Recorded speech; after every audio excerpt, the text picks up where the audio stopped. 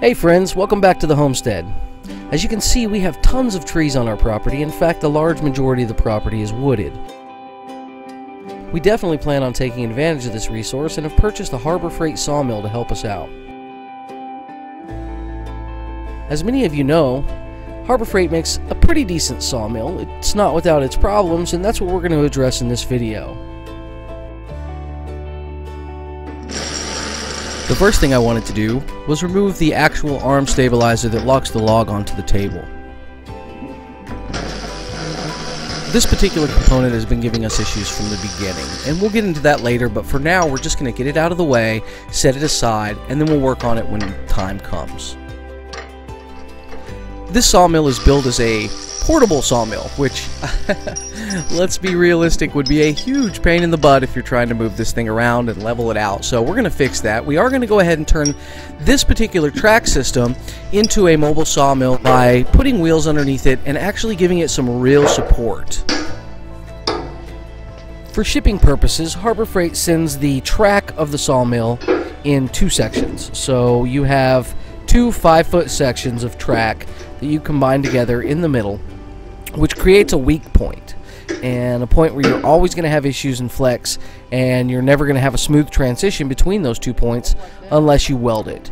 So what we're going to do is weld the center section together and create one long piece of track. It's very important that we make sure that everything is square before we weld it. We need to make sure that the carriage itself is square and that the track is square and that they both work together smoothly because once we make our welds we're really not going to be able to go back. With our vertical supports loose we can now square the saw.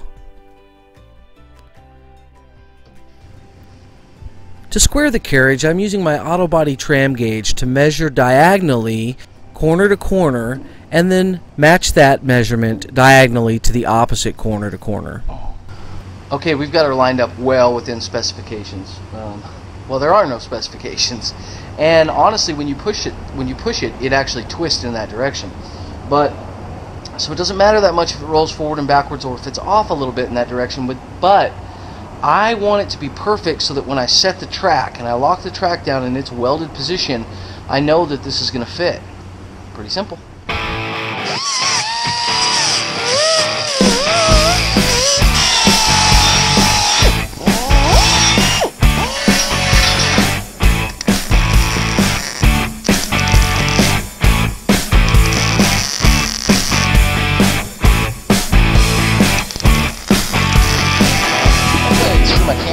Oh, looks like I did.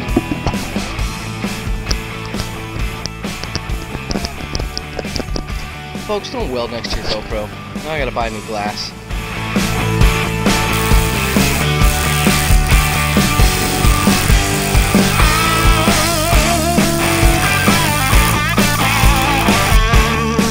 Well, folks, that's pretty much it for the day. That's all I had time to do. We're just going to lay down some welds on these corners, and then we can move it outside and bring it back in when we're ready to work on it again. This particular build is going to take a little while because I'm working on this at work in between jobs. But I have to have it ready for late spring, early summer because we're going to get into some serious logging on the property. It's going to be a whole series, a one-man logging operation, and I promise you don't want to miss it.